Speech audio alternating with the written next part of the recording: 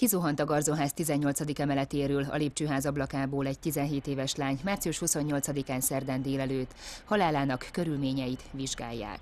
2012. március 28-án érkezett a bejelentés a délelőtti órákban a Salgotányi rendőrkapitányságra, hogy egy személy egy emeletes házból kiesett. A helyszínen megállapítást nyert, hogy a Salgótarján belvárosában lévő egyik emeletes ház 18. emeleti lépcsőházának ablakából egy 17 éves Salgótarjáni lány esett ki, és ennek következtében sajnos a helyszínen életét vesztette.